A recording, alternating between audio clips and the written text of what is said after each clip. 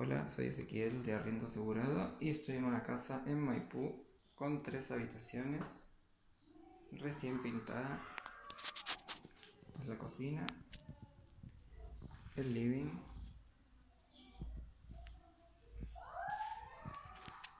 una de las habitaciones que está en la planta baja,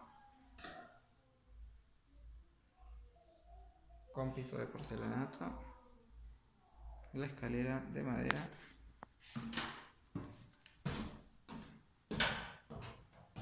En el piso superior. Tiene alfombra. Acá tenemos una de las habitaciones, también. Alfombrada, muy luminosa.